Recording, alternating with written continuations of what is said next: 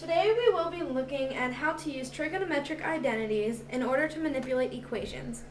This is helpful in changing complicated trig functions into simpler ones, which will especially come in handy when you begin to learn derivatives and integrals. First, let's look at the equation secant squared times cotangent minus cotangent equals tangent. The thing to remember when manipulating trig functions is you always want to break the pieces down into the smallest units. Let's look at our first manipulative, which is secant squared. If we flip this over, we see that really secant squared is nothing more than secant times secant. So we will pull up two of our secant manipulatives. The next one we look at is cotangent. When we flip this over, we find that we get cosine over sine. When we pull up our cosine over sine, notice that the shape that they make is the same as the shape of the cotangent. Now we're subtracting another cotangent, so we remember that again that's cosine over sine, and we don't want to forget our subtraction sign between them.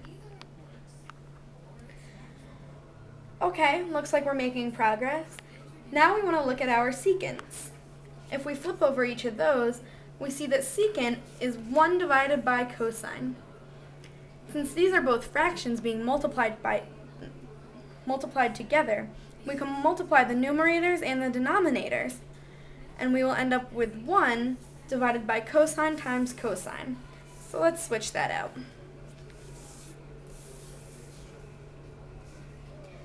Now we have 1 divided by cosine times cosine times cosine divided by sine. Because our numerator are just being multiplied together, we can combine these fractions into 1 times cosine times cosine times cosine divided by sine times sine.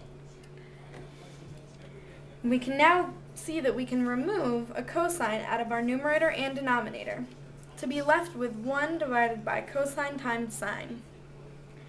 And we look at how we're subtracting from that cosine over sine. Now these are two fractions being subtracted. What do we need in order to perform that operation?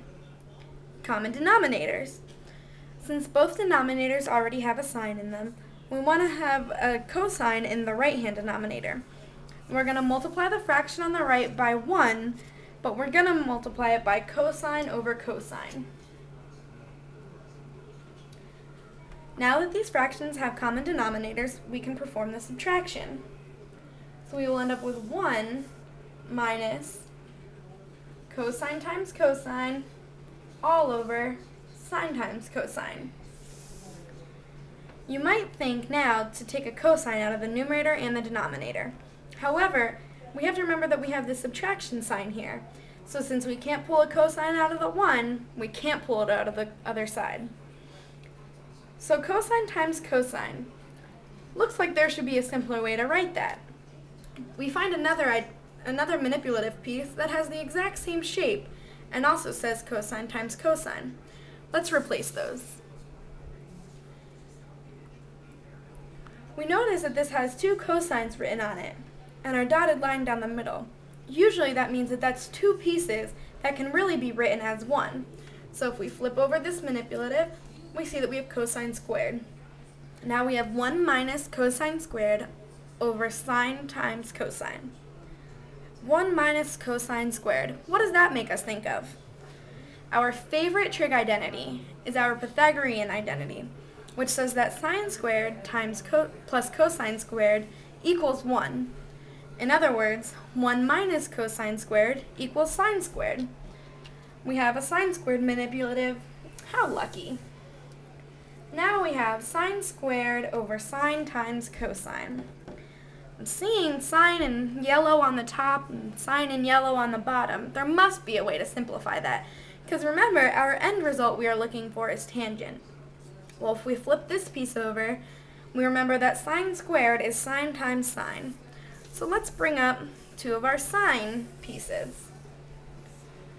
Now we have sine times sine divided by sine times cosine. Clearly we can see that we can remove a sine from both the numerator and the denominator. We are left with sine over cosine. Now if you forget that this is in fact tangent, let's look at the shapes. See how they both have jagged tops and bottoms? Well, if we turn over this tangent, voila, it is sine over cosine. So there we go, all the way from secant squared cotangent minus cotangent to simply tangent.